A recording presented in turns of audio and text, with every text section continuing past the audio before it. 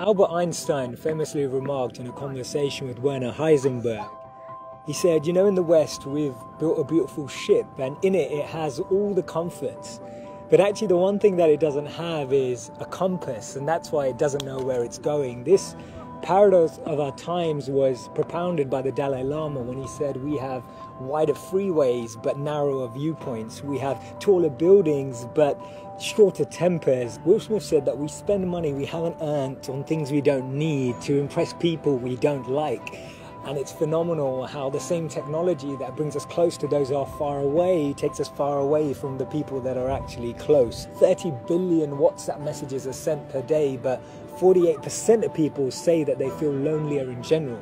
The paradox of our times is that we have more degrees but less sense, more knowledge but less judgment, more experts but less solutions. It was Martin Luther King who said that the irony of our times is that we have guided missiles but misguided men. Have you ever found it perplexing that we've been all the way to the moon and back, but we struggle to start a conversation across the road or across the train? And it's amazing that Bill Gates was known as the top earner in 2015 with a wealth of 79.2 billion, but one in four CEOs claim to be struggling from depression. Do we actually thrive off this paradox? Is it that this paradox actually makes the media interesting? It's what makes journalism interesting. It's what makes politics interesting. It's what makes television interesting. Is this paradox actually what we feed off and what we live off and what we talk about and discuss in our circles? Doesn't it seem that we've tried to clean the air but polluted our soul? We've split the atom, but not our prejudice. And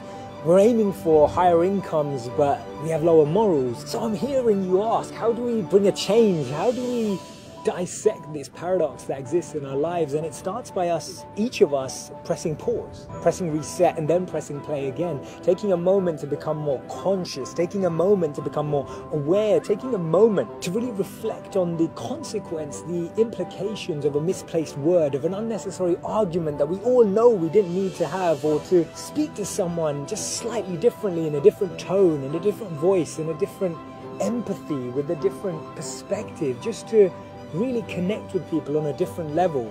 This thinking out loud started from Albert Einstein, and I'll track back to him when he actually said that the problems we have today can't be solved with the same thinking we used when we once created them. So actually, we need to research alternative teachings. We need to deep down dig into those ancient books of wisdom. We need to go back to understanding if there's anything written in those creased pages of time that can actually reveal more knowledge and more wisdom of how we can transform our experience of light today. Otherwise, this paradox means that every step forward we take, we're taking three backwards every time.